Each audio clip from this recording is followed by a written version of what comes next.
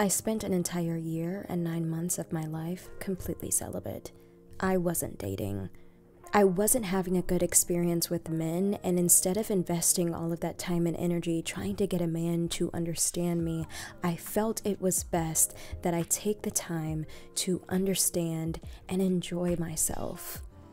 If you are in a season in your life where you are single and you're in this season of waiting, I want you to stop that you can invest your time a lot better than using this season of being single, longing for this partnership. You're able to use this precious time to invest it into yourself so that you are solid for the next chapter.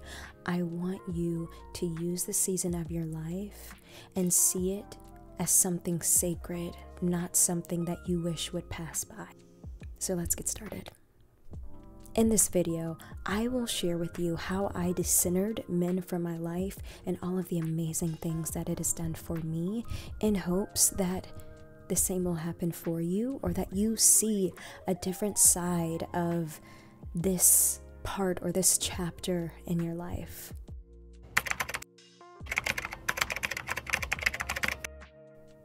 I decided that I wanted to manifest more into my life.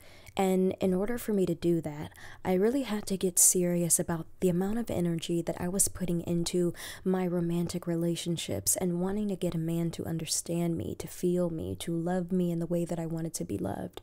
I realized that if I just did the work and invested all of that love and energy on loving myself, the next person that came into my life either would get so scared away that they wouldn't even bother because I require too much, or would meet me exactly as I am and say, Wow, where have you been? I've been waiting my entire life for someone just like you. And that only happens when you actually know yourself. It gets easier for your partnerships, your divine partnerships, not just people that come and go.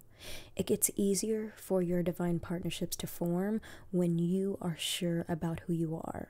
Or, sure enough, to make decisions and set boundaries that kind of shift your direction and, and where you're going so you're actually in the right place at the right time to meet this divine partner. To be honest, my spiritual awakening changed me internally and hormonally almost.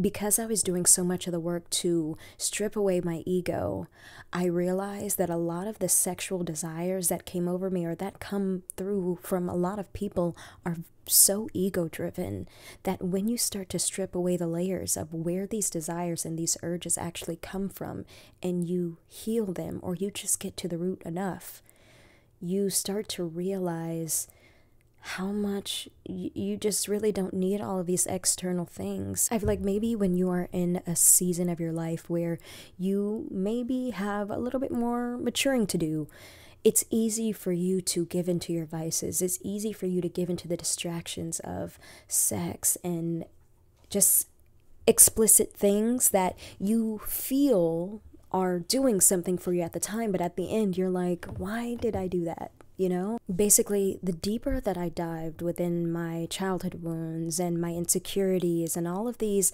ideologies that I needed to change within my heart and mind to grow, it actually started to work. All of the external things, all of the um, low vibrational urges that I had. I was so content with who I was and I was so happy with just existing in who I am. I didn't need any external validation from a man or I didn't crave things physically. Once I got a taste of what divine love is, as I was healing and growing through so many challenging things in my life, I realized that the love that I actually want to have and keep was something so far beyond the physical that now I didn't crave this physical form of love anymore. I wanted something deeper.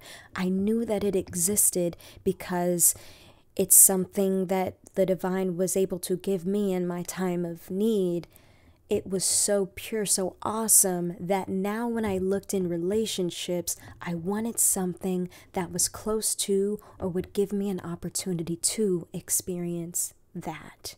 because I was becoming more intentional about the way that I was spending my time and the way that I was choosing my relationships and the way that I wanted to love, and it was outside of the physical form, I knew that journey was something a little bit more sacred and it was between me and what I feel is my higher source. So, allowing a man to be a witness to something that I feel was so sacred would be um, just a dishonor to my higher source. I didn't want to be in positions in my life where I was going to be coerced into someone else's sexual urges, someone else's physical, egoic fantasies. I didn't want to put myself in a position where I would regret wasting my time and energy on one, explaining myself to someone who is not necessarily on that path, two, putting them in positions where they feel like they aren't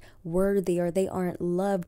We're just not on the same page. And three, I just really didn't care to do certain things and I wasn't going to dilute what was so sacred to me just to have someone in my life. You know? Facing all of these challenges, this inner work was happening inside of me, and I felt that spiritually I was coming or I was in matrimony with the divine, so that in the physical, he would be able to present my partner to me, and I would know it would come from him because of the amount of work that I'm doing spiritually now. I know that sounds bizarre, right? And outside looking in, it could seem very intense, like this very intense spiritual journey that this person is going on at like random. It happened to me at random. Once I dedicated my life to healing, literally, once I decided that the things that hurt me, I didn't want them to hurt anymore, it took me on a path that changed me.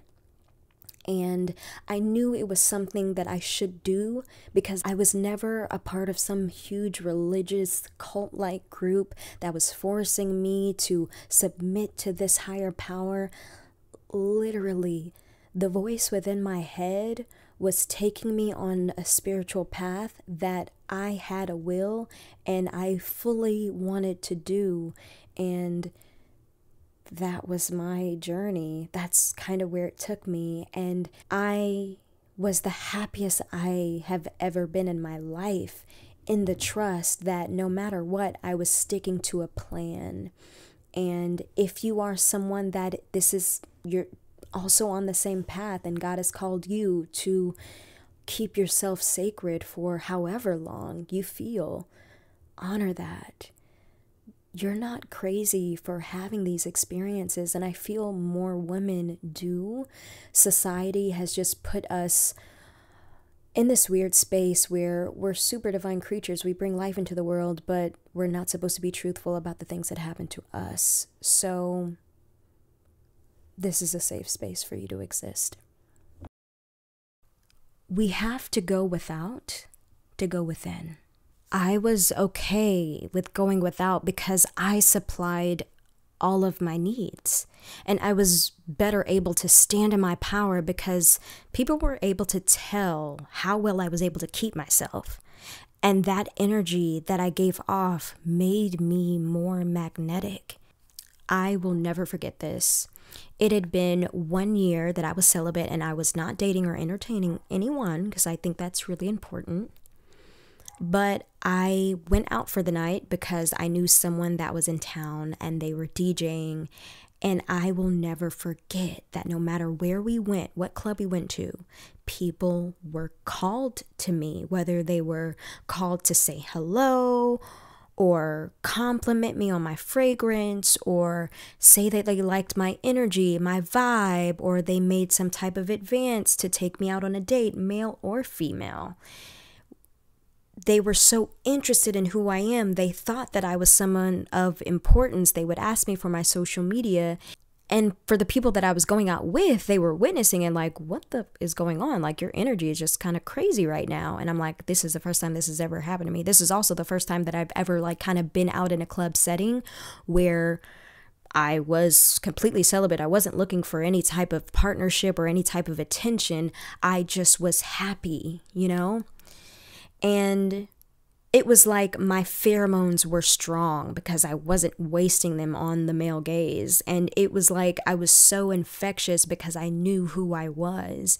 And a lot of people wanted a piece. Maybe it wasn't even that they were actually interested in me, but it was the curiosity of my presence and the impact that I made when I entered a room. They want that for themselves. And that's something that anyone can harness, anybody can have if they do the work and be intentional about how they want to show up.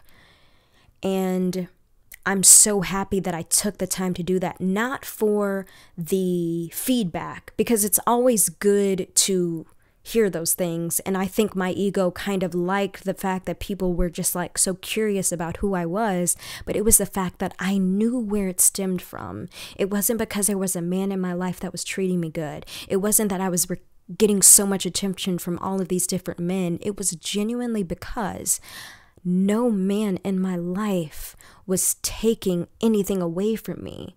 No man in my life was actually in, close enough to me to take the attention off of myself. I was actually able to see me for who I am and all of my con- confidence and all of my glory. And I was proud to wake up every day being me.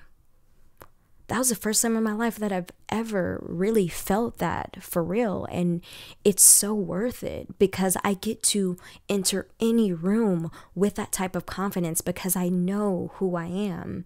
And if you're someone that's starting a business, if you're someone that's um, starting a new job or going to school for the first time and you want to make your mark, right?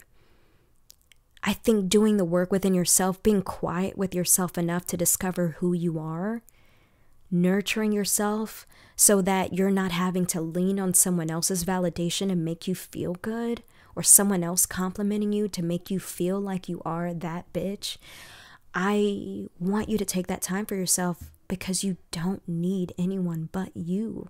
Sure, people are great, but they're just a bonus. And I'm living proof that you literally can have the entire world at your disposal once you decide that you are worthy of it by the confidence that you have within yourself, by the way that you walk into a room. I knew that I could have any man, any woman that I so choose that day, all because I was really in my power. It's dangerous almost. It's almost like no one should have that type of power. I know so many people do. That was my first taste of it and I'm like, "Oh God, thank God I I don't have the same feelings that I do cuz I would have totally taken advantage of everything. Drinks, food, all of I love food. Okay? Anyway, when I started to set boundaries, I realized that I was using my discernment poorly. Bottom line, stop pretending not to know the things that you know. And when you actually stand on everything that you know, it's going to be hard for you to allow certain people, aka men, only because this is the topic. It's going to be hard for you to allow certain men to exist into your orbit and not really have much to contribute. You're going to start to notice how much they take without really giving much in return. But if you are receiving fulfilling friendships and bonds with men, with the opposite sex, and you feel like it's worthy enough for them to keep, you actually have a kinship, a brotherhood, someone who has your back outside of wanting to have your body first, then this does not pertain to you. I actually respect friendships between a man and a woman where they can just exist as who they are and be a support and allies for one another instead of those friendships where he tried to do something with you and because he couldn't he's pretending to be your friend up until the time the man in your life messes up or until you actually let your guard down enough to let him into your body so we call things a spiritual awakening because sometimes after a certain point of growth and you reach a level of consciousness, it's hard for you to exist in your old self. It's as if overnight you wake up, witness your life in such a new way that you become disgusted with what you have allowed in your life. Not even disgusted, but it's so out of alignment with who you truly are to your core, your light heart self, that you have two choices. And this is the hard part.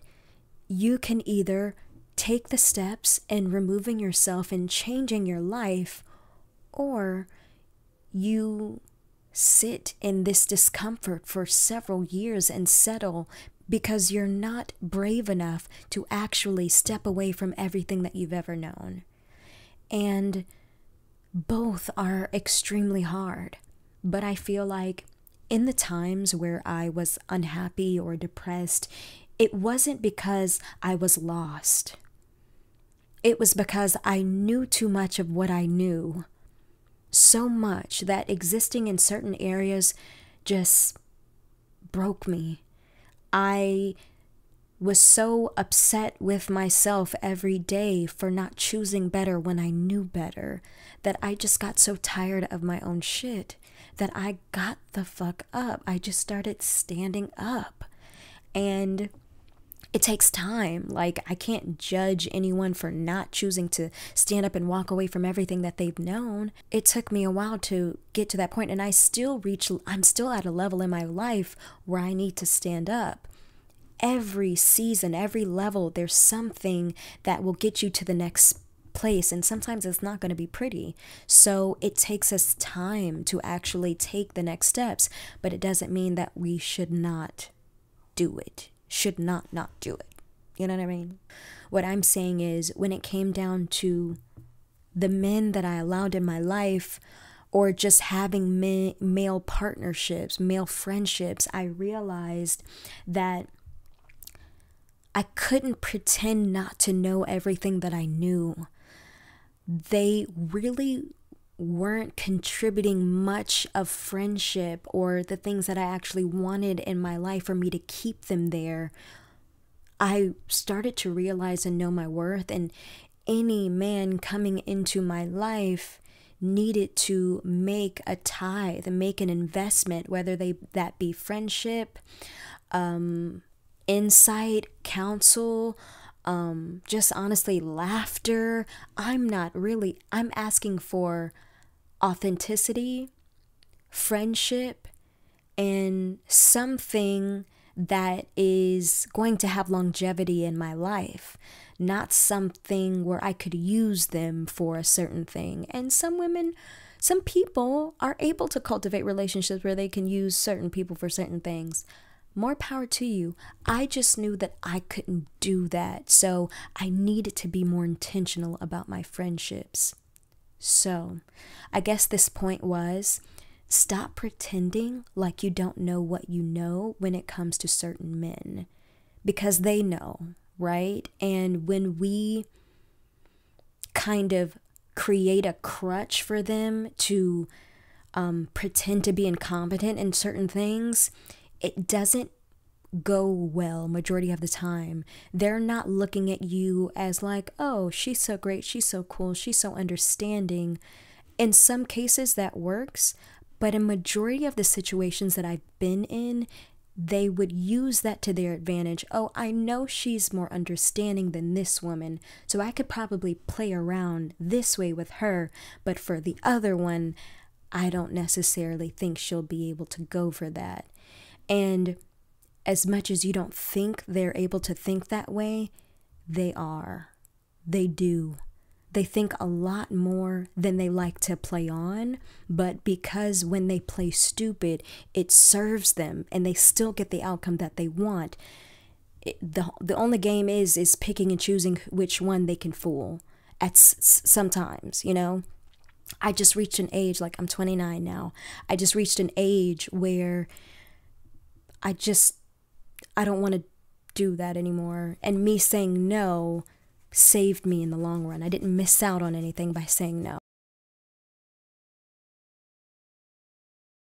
Nothing, and I mean nothing, is for the male gaze.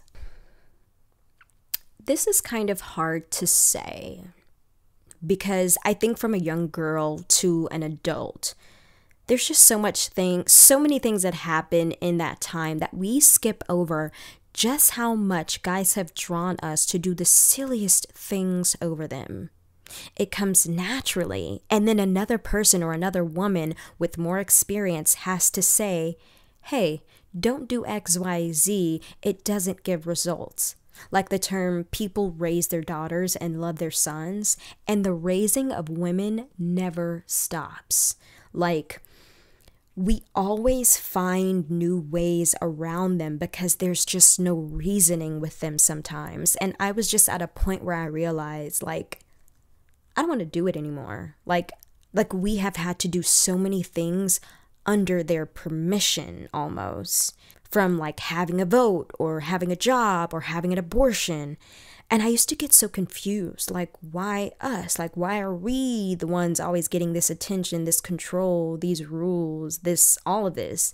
And then it makes sense. Like, I think I had to realize everything that a woman is capable of. And like, we think more, we mature faster, and strategically, we have established a stronger buying power in this world.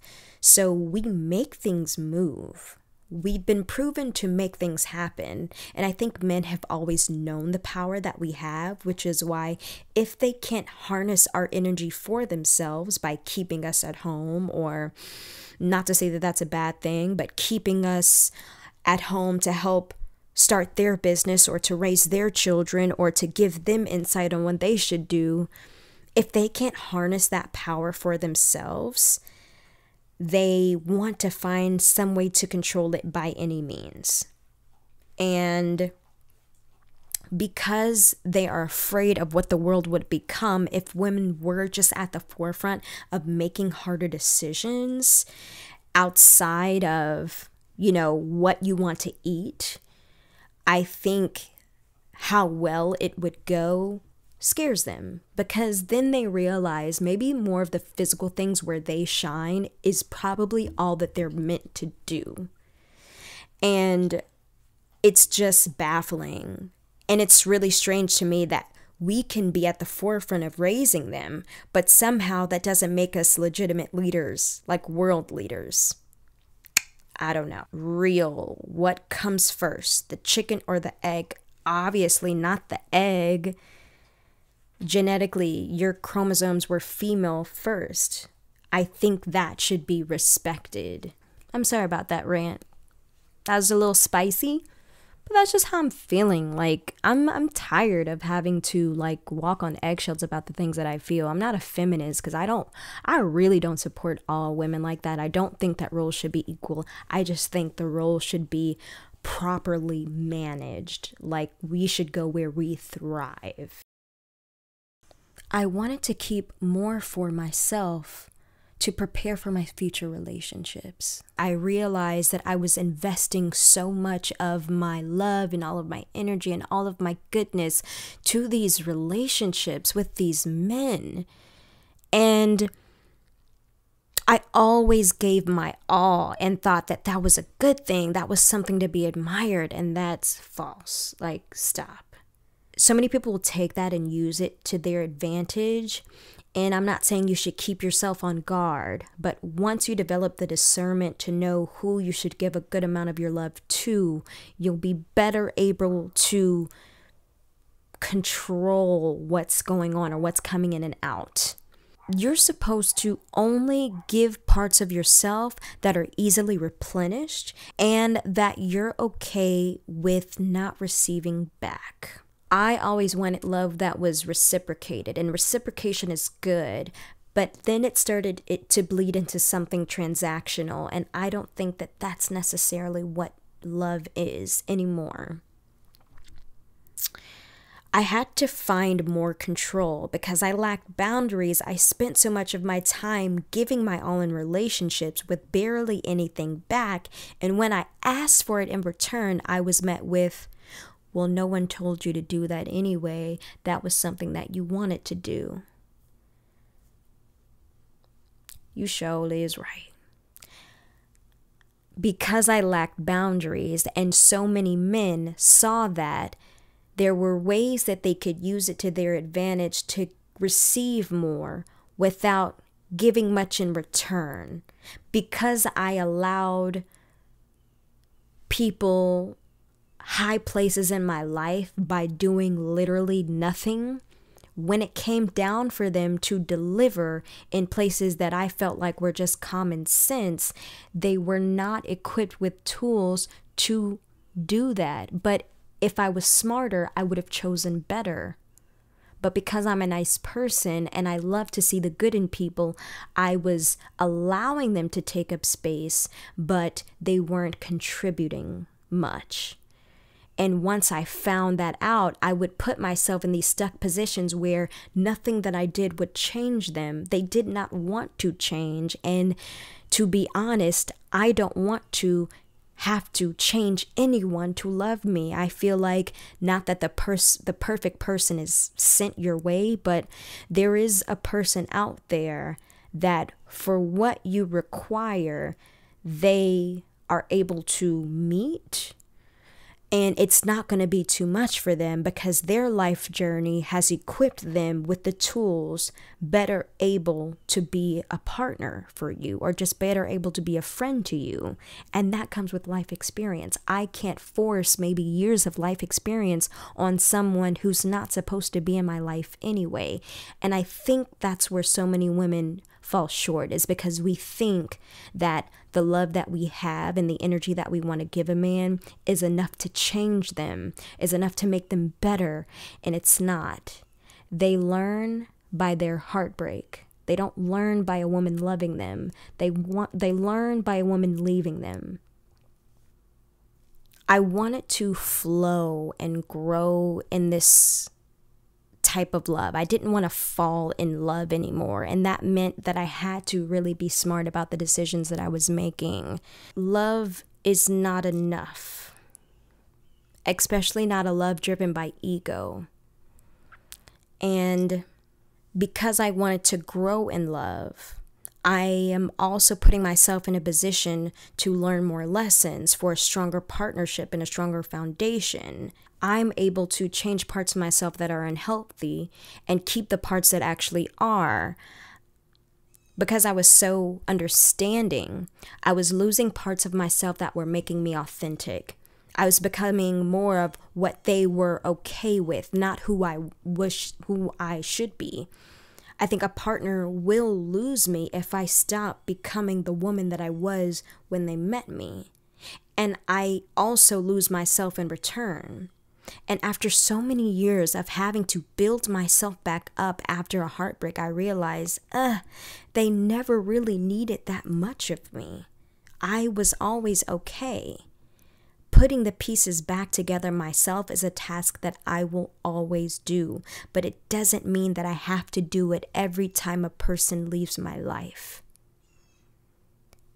And the time that I spent alone, I realize this is the person that I want to keep, me. This is the version of myself that wants to say the same whether a person is here or not.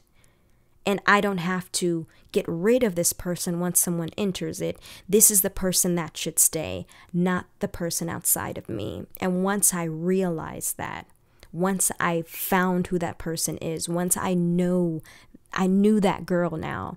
So there's just so many things that happen when you spend that precious time with yourself that I think more people should invest in. I don't want someone so afraid of being alone that they fall into a relationship that is not meant for them. It's so sad to watch what people become or how much of a person they lose of themselves when they're not in safe relationships, not in safe friendships. It could change the world. Like, you know, how when they have these back from the future movies and one small decision could change the whole world. That's what I feel about the decisions that we make in our lives where we are choosing certain things, when we're choosing certain people, when we're spending time with XYZ outside of ourselves.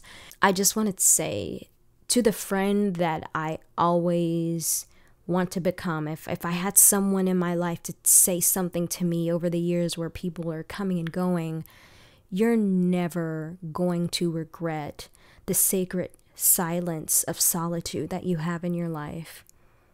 There's so much to discover within yourself. I think about myself as the earth and the inner me as the ocean the earth parts as my external self and all of the people that I know and that I've come across. There's over half of the ocean is not discovered and that's you that's that was who i am and it's so much more interesting diving deep into my being into my soul self into my ocean that whatever's on the surface it's great, but nothing pales in comparison to what's going on in the deep of who I am. That's where God is in me. So, because I truly think that like God is my friend, I have so much fun just having these conversations in my heart and in my mind. And I'm able to grow in such a great way. And honestly, it's so crazy because I love like history stuff. Like, I spend a lot of my time watching history like ancient Egypt stuff like hence why I love this dog so much because she reminds me of like this Egyptian dog anyway what I'm saying is that back in that time people valued different things. There were a lot of different conversations happening. And what they held sacred was here you know? And that validated me so much when I was discovering about different queens in Egypt and like their monuments or just their um, just the things that were important to the different queens of the past. And how they spent their time as leaders, as mothers, and all of these things, I started to realize like, oh my gosh, wow, like I identify with that type of journey. Whether I, I'm I'm writing something or I'm you know, reading on something, watching something that's very interesting to me, that's something that really resonates with me. And I realize at in this time of the world, there's not a lot of people that can relate to that. They're, they're not interested in that. They're more concerned with the rap something or Cardi B, whatever the fuck, than this type of these type of topics. And I'm okay with that because a large majority of my life have spent with me being alone. And I think it's because it's supposed to teach me something. And I think it's for a, a, a different type of path in my future. And because I can't help but be this way, I know it's for a higher purpose. So I'm okay with it it is hard. So if you're someone that isn't able to just sit alone with themselves, have great friends or, you know, start a community of your own where people talk about the things that mostly interest you, but definitely take the time to have different conversations with yourself that actually are decentering from what the male society and what that has kind of morphed us as women into being and um, just see where that takes you. I'm fascinated with who I am on a deep level that I like discovering what I like, what I don't like. Um, maybe that's the narcissist in me that's just so selfish that discovering the depths within myself is much more inter- interesting than whatever could be going on outside of me. And that's just where I'm at in my journey, and I'm not going to feel bad about it. I'm going to use it to be of service, which is why I'm here today. But yeah, wherever you are in your journey, whether you're in a relationship, whether you're single, whether you're happy in your relationship, whether you feel like it's time to exit, as a woman, it is so important to do that deep work in your solitude because we are the mothers that raise the children. It's our mind, it's our heart, it's our journey that transfers into our womb that makes the children. So, if that is your path and if that is something that you want to do, take that step and spend some time alone and see where it takes you. Hopefully, somewhere deep and far. And um, I hope it's a beautiful journey for you. it is for me. That's why I'm sharing it, and that's why I am here. And that is all I have. I hope you enjoyed this video. I hope to see you guys in my next one. I had so much fun talking about this. And um, yeah, I'll see y'all soon. Bye.